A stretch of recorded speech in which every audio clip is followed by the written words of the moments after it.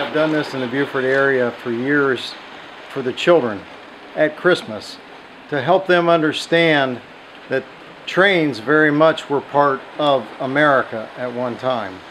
And we like to run the trains because they get to see all the different styles and all the different sizes that are out there on the market and hopefully some of them will get into it.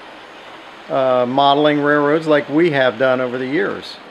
The children today, they play with iPads, they play with computers a lot, and they're into the TV games that they can have.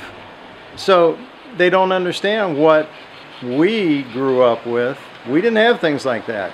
We had things like trains. And we're hoping they'll get back to that more easy lifestyle.